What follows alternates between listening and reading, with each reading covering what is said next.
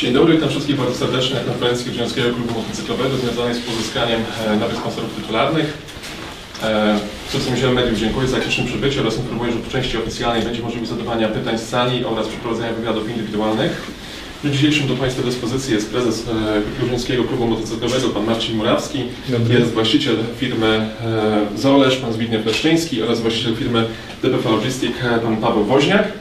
Na początek poproszę o zabranie głosu przez e, prezesa Grudziąckiego Klubu Motocyklowego Marcina Murawskiego. E, Dzień dobry, witam wszystkich serdecznie. Również dziękuję za tak liczne zjawienie się tutaj na dzisiejszej konferencji. E, Jest mi niezmiernie miło poinformować, iż nasz klub pozyskał dwóch nowych partnerów biznesowych w postaci sponsorów tytularnych, firmę Zoleszcz oraz firmę DPV Logistic, e, za co bardzo dziękuję tutaj e, właścicielom firm. E, Jest mi niezmiernie miło, że obdarzono nas takim zaufaniem. W dzisiejszych czasach jest to naprawdę bardzo trudne zadanie pozyskać sponsora dla sportu, a już w ogóle sponsora tytularnego. Dlatego jeszcze raz mówię, bardzo się cieszę i dziękuję za zaufanie e, obu firm. Liczę na e, dobrą i owocną współpracę. Mamy nadzieję, że ten pierwszy rok taki wspólny e, będzie dla nas udany, e, że utrzymamy się w tej, przynajmniej utrzymamy się w PG Ekstralidze i ta współpraca będzie się rozwijała. Z pytaniem zwrócę się teraz do, do pana Zbigniewa. Panie Zbigniew, dlaczego to GKM? Jakie wiąże pan nadzieje związane z tą współpracą? Prosimy o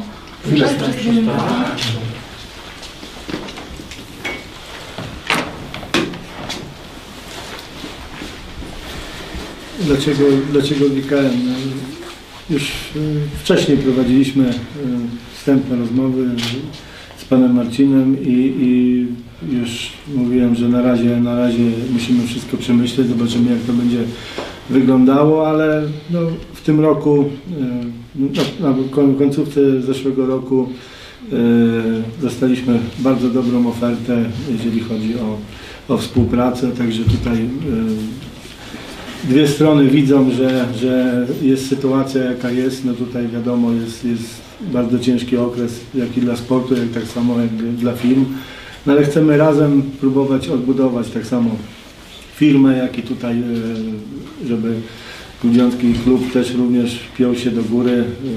E, Mam nadzieję, że pójdzie to tą samą drogą jak e, nasza współpraca w roku 2019 z Bydgoską Polonią, gdzie też firma Zoolesz była sponsorem tytularnym i, i miejmy nadzieję, że tutaj też trochę będziemy mieli szczęścia i uda się zrobić dobry wynik i, i przede wszystkim utrzymać się w PG Ekstralidze, a może, może jeszcze coś więcej. No zawsze patrzymy wyżej, żeby, żeby był wynik jak najlepszy. No myślę, że tutaj będziemy robić wspólnie wszystko, żeby, żeby tak było.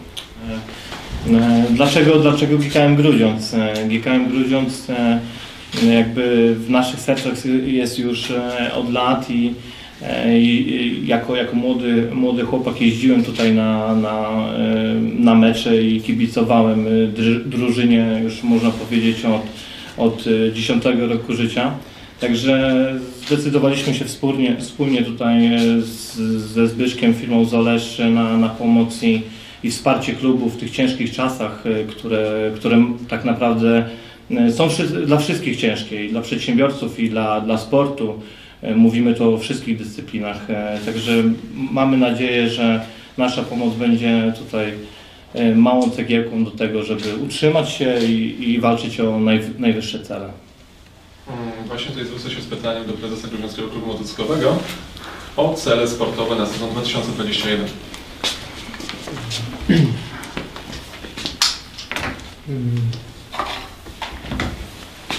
Jeśli chodzi o cele sportowe na sezon 2021, to tak jak już wspominałem, e, głównym naszym celem jest utrzymanie się w PG Ekstralidze. E, Robimy wszystko, przygotowujemy się od tego sezonu jakby w zupełnie nowej formule, e, z nowym trenerem, nowe przygotowanie toru, nowa kadra. Robimy wszystko, aby to utrzymanie zapewnić tutaj dla naszych kibiców, sponsorów i miasta Grudziądz. Bardzo nam na tym zależy. Mamy nadzieję, że ten cel uda się osiągnąć, a potem będziemy myśleli dalej, aby walczyć o wyższe cele jak to miało, by było w latach y, poprzednich. Niestety rok 2020 pokazał, że nazwiska nie gwarantują tego wyniku. Teraz zbudowaliśmy skład zawodników z potencjałem, którzy mogą jeszcze wiele osiągnąć na torze żużlowym i liczymy, że tak będzie.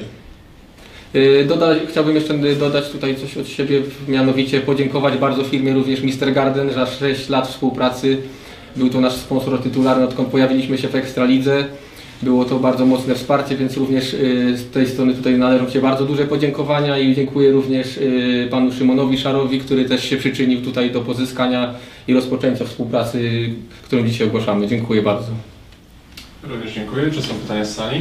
Tak, ja pytanie do Pana Prezesa, skoro są mikrofony, mm, porównując z poprzednim rokiem i, i, i, i dołączając tutaj tych sponsorów, jak, na, jakim, na jakim poziomie będzie budżet porównując z zeszłym rokiem klubu? I czy, y, nawiązując do Pana wypowiedzi o, o firmie Mr. Garden, czy to jest definitywny koniec współpracy, czy w jakikolwiek sposób firma jeszcze będzie wspierać też klub?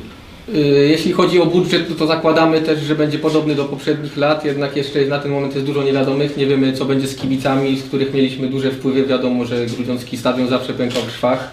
Na pewno nie będzie to wiadomo stuprocentowa liczba kibiców, jednak liczymy na chociaż te 25% czy 50% jak to było w poprzednim sezonie. To też jest dla nas e, bardzo duża różnica. No i cały czas trwają e, rozmowy ze sponsorami, tymi, którzy byli nowymi. E, Wszyscy też jeszcze nie wiedzą e, właśnie co ich czeka. Wiadomo jak, jaka jest sytuacja w kraju i na świecie, więc te rozmowy trwają.